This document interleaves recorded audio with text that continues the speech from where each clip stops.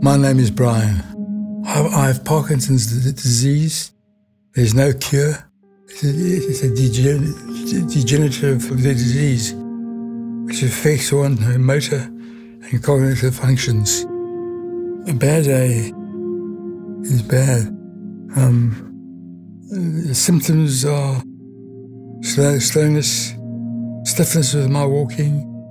I have a general sense of feeling unwell all the time. It's a, it's a downer in, in, a general sense of the word. I'm, I'm thankful. Uh, thankful that I got a great family. I'm thankful that I'm not totally uh, in a coma or, or, or cactus. Uh,